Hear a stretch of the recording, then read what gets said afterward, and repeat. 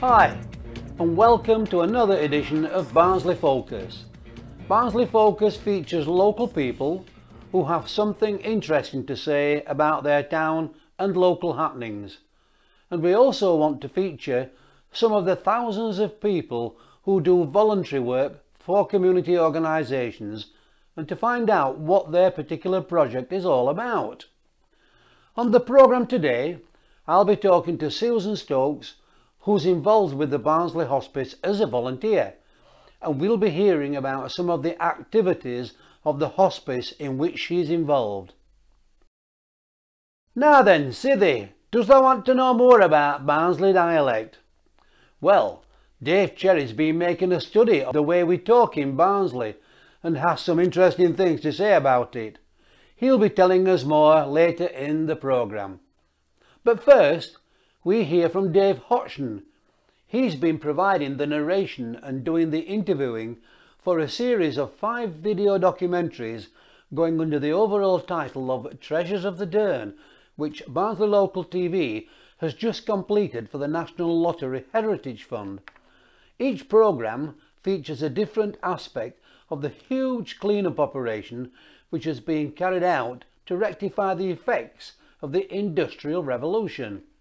When the factories and coal mines were working, over many years they churned out masses of industrial waste and when they eventually all shut down, they had left parts of South Yorkshire and the Dearne Valley as industrial wastelands. Well, a project to clean up the areas and create nature reserves for the preservation of wildlife has been carried out to provide places which everyone can visit. But I'll let Dave tell you more about it all.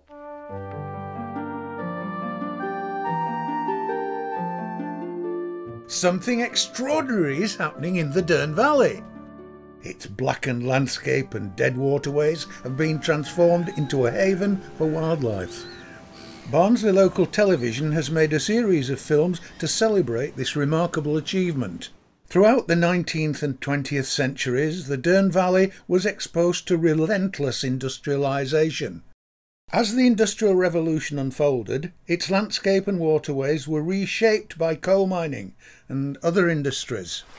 At that time, water was the main source of power, and at Worsbrough Mill, you can still see it at work. Every hour, the mill uses 105 tonnes of water to grind corn. The two millstones, driven by the water wheel, weigh one and a quarter tons. Then the invention of an efficient steam engine changed everything. Coal drove the new steam engines and the Dearne Valley's rich seams of good quality coal helped power the Industrial Revolution and change the world. Canals were built to get goods to market. They involved some remarkable feats of engineering, such as this magnificent aqueduct. The aqueduct is now gone, apart from these stones by the footpath. Seventy barges a week would pass by here carrying coal, sand for nearby glassworks and many other products. Railways then revolutionised the transport of coal and other goods to all parts of the country. Oaks Viaduct dominated the landscape at Hoyle Mill. All that remains is this strange structure on the side of the valley, blocks of stone in the River Dearne, and these railway lines. In the road.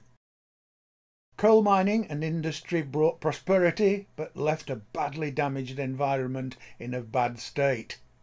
Waterways were dead, and the landscape was scarred by spoil heaps and dereliction. Repairing the damage was a major task and the Dearne Valley is a great example of organisations working together to improve the environment. Waterways have been cleaned and kingfishers are now seen along their banks.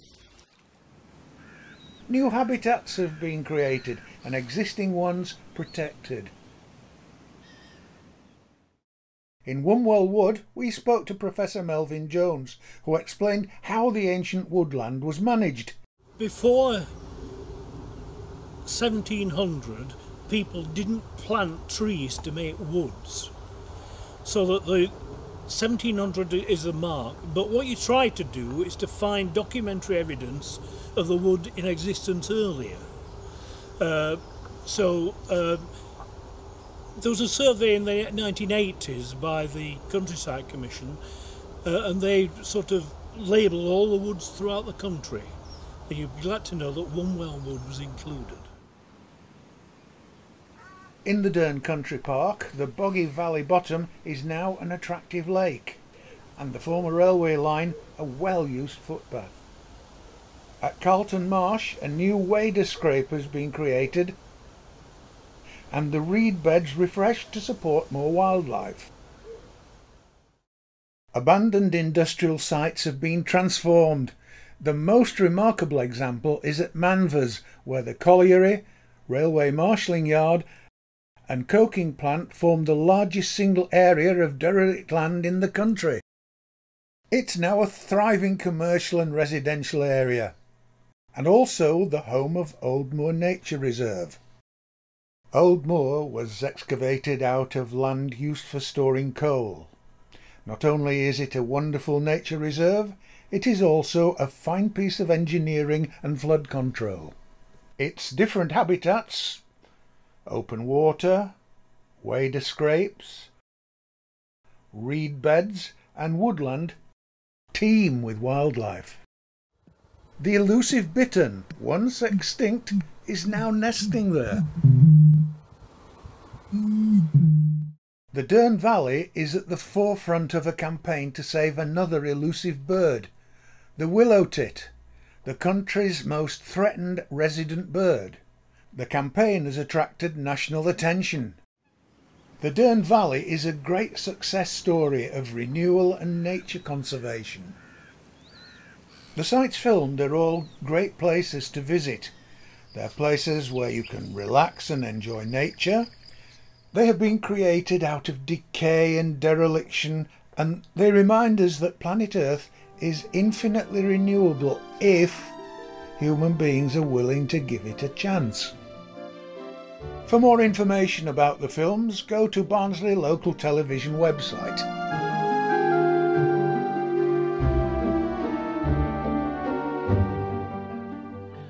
Dave Hodgson telling us about the big changes in the Dearne Valley and across South Yorkshire. The five videos are on the front page of our website for you to watch and they cover each nature reserve in much greater detail. And whilst we're still on the subject of the treasures of the Dearne, you know there's always something that can occasionally happen to disrupt a carefully planned filming session. When shooting a series, this is what happened to Dave struggling manfully against overwhelming odds. There's a great deal to learn here, and the children can come, as I said, uh, and have lessons here. But that's not all. There's actual place for them to. hey, that's a that's a good one for the outtakes. Dave Hodgson battling and losing the battle against a chorus of dogs during the shooting of the Worsbrough Mill video. Dave did try it again later and this time was successful. But now on to our next item on today's programme. Susan Stokes spent a great deal of her time working as a volunteer at Barnsley Hospice, a subject that is close to many people's hearts. Sue was born in Barnsley in 1951 and went to Barnsley Girls High School, then went into the teaching profession, but she still wanted to do something a bit different and of course, by now, she had a wealth of experience under her belt. So, after working in Barnsley schools, she went on to Warwick University, where she entered a national project all about economic and national understanding, and eventually Sue set up her own business. But now, in retirement, she's moved back to Barnsley and taken up other interests and one which she is passionate about as a volunteer for Barnsley Hospice. Sue came into our studio earlier and I began by asking her why she had wanted to become involved with Barnsley Hospice. Well, I came back to Barnsley having had a career away in the West Midlands. And I didn't know anybody because I hadn't worked here. So I needed to make contact with people, to have a social life and have a purpose. And I'd had contact with Barnsley Hospice through a card, and I'll talk about that later. Um, but I needed to have, as I say, a purpose. So I went to them and said, could I help in any way? Because I had a realisation that funding, they needed support for funding, um, and through all sorts of projects, they needed help. Um, I needed a purpose, so I wanted to volunteer. And I had a conversation with their volunteer manager in the day, and I'm going back now 10 or 12 years at least. Um, and she um, identified lots of ways in which I might be able to help. And shall we say the story starts there. Um, it's local to me, I can walk there. Um, it's, it's, it's a lovely place to work.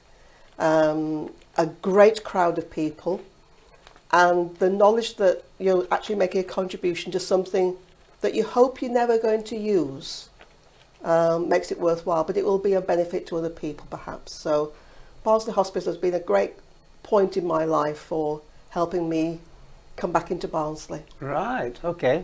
Interesting. Now it's pretty obvious that uh, all hospices uh, rely quite heavily on fundraising so uh, why is it so important? Well, Barnsley Hospice actually does get a grant from the NHS of around about 1.25, 1.5 million, should I say. However, they need a minimum of 4 million pounds. Is that annually? Annually. Wow. To provide all the services that they provide. So that difference of 2.5 million pounds has to be found. And so far, touch wood, Mm-hmm. the people of Barnsley, the businesses of Barnsley, anybody within Barnsley and slightly beyond, but primarily Barnsley people have come up trumps. They are creative in all the ways of finding funds. They provide, the, the hospice do certain activities which they will drive forward. So things like Make a Will Month. They encourage people to make their own wills, which is really important. And solicitors in the Barnsley area will say, I'll volunteer to write a will for somebody, but the fee that I would normally have, I will give back to the hospice. Um, they will run charity, uh, so run events. For example, currently they're looking for people to join in with the North Great North Run. And again, they're hoping that people will sponsor the runners Okay. and give money back to the hospice. So fundraising is hugely important. The grant is there, it's never guaranteed. Um, but the fundraising through volunteering activities, fundraising walks, sponsored activities, Light Up a Life, for example. Which we'll talk about later, Which we'll yeah. talk about later. Uh, it's amazing how creative people are. I can stand in Marks and Spencer's. Um, at Christmas time, we've done this where we help people pack their bags and we put the, the orange box there and people will donate amazingly, whether they spent £2.50 at, Morris, at Marks and Spencer's or £102.50.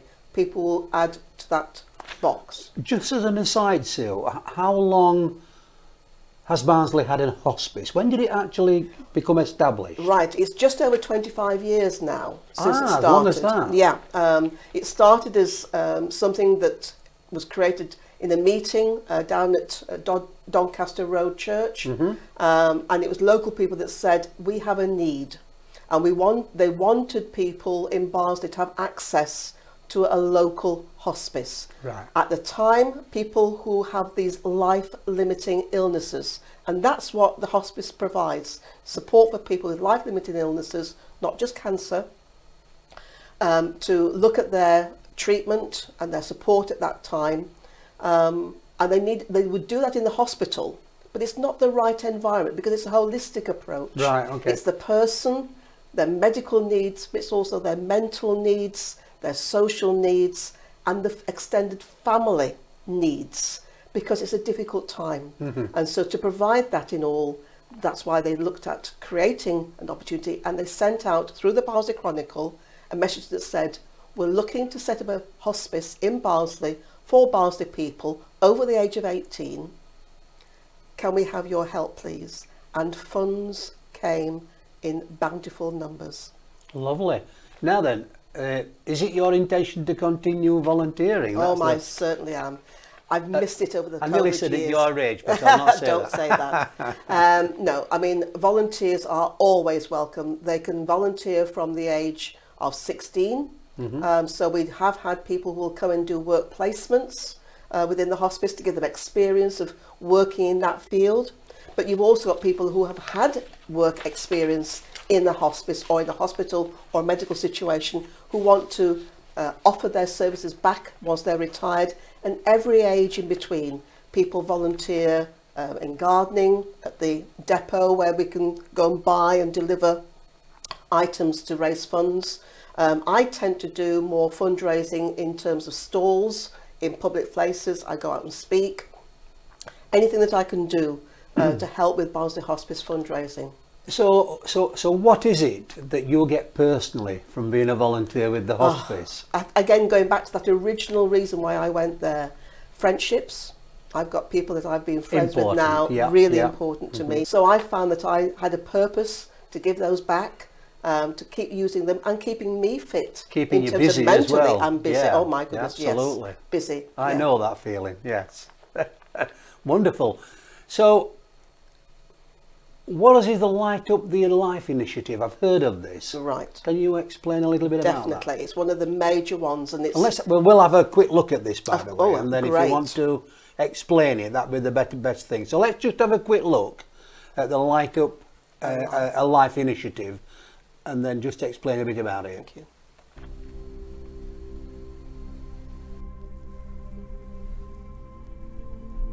Together, let us light up a life.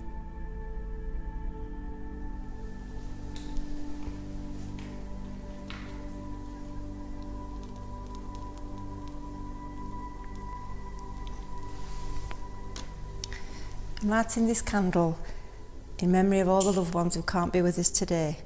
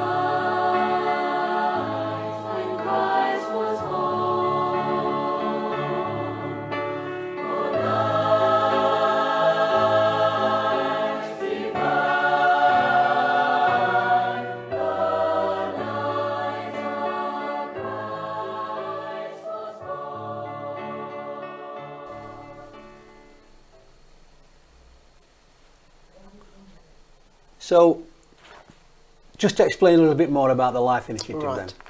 It's one of the most important parts of the calendar for the hospice in terms of fundraising. It's usually around the first weekend in Christmas. And the service, well, there are two services. One's at St Mary's Church, the parish church at the town centre, and the other one is at the hospice. There are Christmas trees which have lights on them, and we ask people to dedicate a light in memory of somebody that's no longer What a wonderful idea. Yeah. it's it's glorious and when you sit in that service and there are actually four trees all with these small lights on them it goes into darkness first and at a point in the service, the lights are put on. I normally have three, perhaps four lights that I dedicate. I can find my lights. Barnsley Hospice asks people to participate in this by paying for those lights by a donation. So you can go along to those services and see your lights because I, I know you will find the number of lights that you've had. But at the same time, this is where I come in, they offer you a card with that person's name written on that mm-hmm. card to have with you in your own home over Christmas that reminds you that there's a light shining in St Mary's Church or at the hospice in memory of that person. Yeah. And that name, to me, the way that I try to write it, values that person. But at the same time, you know that you've given towards a fantastic organisation at the hospice mm-hmm. by fundraising for that light. Sue Stokes talking about the Light Up a Life project at Barnsley Hospice. And if you would like to volunteer to help at the hospice or make a donation, the details are on the screen right now. Another of Sue's interests is Barnsley U3A.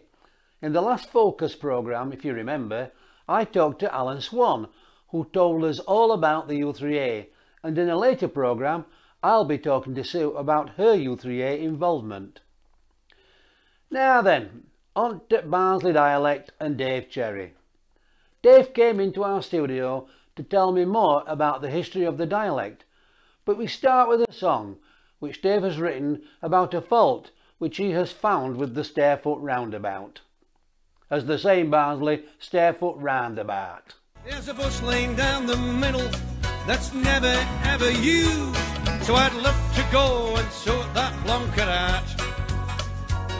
That dreamt up that stairfoot roundabout. And that's Dave Cherry with his song sung in the unique Barnsley dialect. Now I'm Max Senior and we've Dave here with us.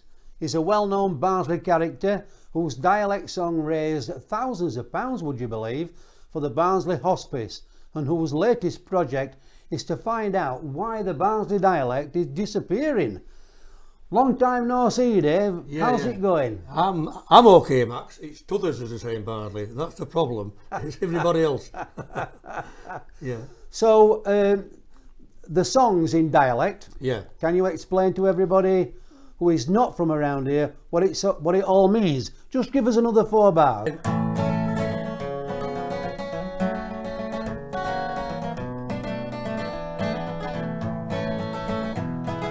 Like to get me hands upon the fart.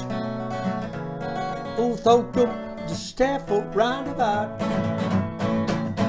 Wow, so So- it really is brilliant showing this Barnsley dialect. Now then, there's words in there that, such as Ilkla Moor Baht 'at, for example. Yeah. Uh, uh, people down south haven't got a clue what that is. Go. Well, uh, Max, uh, actually in Ilkley they don't talk like that. But at it means without the at. yeah, Without yeah, the at. yeah. It's only round here, round Barnsley, who, who says that. Like the, that song. Uh, uh, I'd like to get my hands upon the fart. Well, that's self-explanatory. Mm-hmm. Who thought up the stairfoot roundabout? Thought up the stairfoot roundabout. It's so funny the dialect that the the the the, the actual connotation of roundabout is bat, so it's easy to rhyme with. yeah. So what's this about Royston and a balloon then, Dave? Well, Royston, the actual dialect, it's, it's easy. From the town centre, it, it, it's a radius of five miles. So if you, if you look at that five mile radius, which takes you to Hoyland Common, swing round West Melton, over to Royston, uh, that area, over to Darton, swing back round, in verbatim, word for word, it's word for word perfect. Now then, I've tried going back in, in history. Roy, let's right, Royston. Let's just get to that one first. Royston's the anomaly. In, eight, in the 1890s, uh, a load of miners come from a Staffordshire village to work the Monckton collieries. I've got yeah, yeah. So they brought a lot of dialect words with them, like for instance, a ball, bus, they say boss. You know, so I've tried going back in time. Um, uh, I found a remarkable book, The History of Silkstone, in 1855 a wonderful tale on a balloon. All the people come one summer's night in 1855. They all saw this balloon and they all come running out to Really? end of the world sort Yeah, of thing. yeah, yeah. yeah. And it crashed near Blacker Green Dam. Oh, I know Black and Green Dam. Yeah, was, we was kids. And one bloke, the actual balloon crashes, and this bloke called William Garnett, Bill Garnett, that's a common name, Yeah. says, that knows, that bloke, he had top weight on, holding it down. That knows, that he had top weight on, holding, Holding it down, Holding yeah. it down. Holding it down, So that proves my theory that 1955, they talk like us. Actually, it were all, it were false news, because it was to celebrate the fall of Sebastopol in the Crimean War. Ah, In the Crimean War, 1855, and actually the city hadn't fallen, so it false news. Yeah. So if you fast forward then to 2021, Dave, would you say that the dialects changed over the years? Oh, definite. It's yeah. I, what I'm finding out that people uh, under 55, under 50, they don't speak like we do. The uh, there's a lot of dialect words gone. Brushing, laking, coit, buit. You know, these dialect words are slowly gone. I'm interested in the word larum. Larum, well, well, my dad used to say it. He used to say, I'll put larum, Larum on. on, yeah. It's the alarm, backwards. Larum. I don't, why they said that, I do not know. Yeah. It's very, very interesting. Uh, yeah, so... You never hear that these days, but my No. dad used to use that word as well. Yeah, yeah, yeah, larum, yeah, yeah, And, and you find out that, you know, like a lass from where I was brought up in Woodsborough, ma- married a lass from Dorothy who worked at paper mill. So, you know, this was, uh, like before all this movement, uh, the endemic movement of travel, demographic movement of travel, the people stopped in the old, in the old locality, you know. So, uh, and that's what happened, like, you know, a lass married a, a lad from Pitt, married a lass from paper mill or Brooks Motors, and it stopped there. So, art, you, you, this is like before cars. It's only in last what 1950s when you know uh, when our dads had that Yeah. started buying cars. You And know. when travel became cheaper, people could Yep. started to work away from where they were living. Yeah. Like, I mean, my son went to live, wi- live in London, Yeah. work in London, Yeah. Moved back to Harrogate, brought yeah, up two grand grandkids. Yeah, yeah. Don't speak a word about the dialect. Well, so my, it's gone. It's well, gone. my, well, my son's 10,000 mile away in New Zealand. He's a copper there in New Zealand. Does he use it, Dave? He's, he, still lives, he still lapses back into it. And my grandson is, is 17 now, Ryan. He loves this. He will say, it's chucking it down. He, yeah, he, he yeah, just yeah. couldn't uh, understand, you yeah. know. Oh, it's, it's wonderful. Yeah. But, but uh, it, it is surprising how the dialects going. going. Now then, just for the benefit of them that's listening to this or reading this, we want, or Dave wants, people to come forward and tell us of the disappearing dialect words, and there must be hundreds and hundreds out there. So if you want to help out with this particular project, this research that Dave's involved with, get in touch with Dave, and he will let you know uh, well, he'll, he'll, he'll compile all these words because I do believe that Dave's going to eventually write a book about this. So, Dave, uh, thanks very much for helping us out. Yeah, yeah, yeah. Uh, and, and thanks very much for coming in. Yeah. And I'm sure that uh, at some point in the near future, we'll get Dave Cherry back in the studio and we'll do a real live history on this guy because let me tell you, he's got a story to tell. thanks, Dave. Okay, mate. Here's me hand, here's me heart. Well, that was Dave Cherry, and I look forward to another chat with him in a later programme. And that brings us to the end of Barnsley Focus for today. I hope that you've enjoyed the programme and will join me for the next one when I'll be featuring more interesting people from the Barnsley area. In the meantime, as they say in Barnsley, be seeing ya. Ta-ra for now.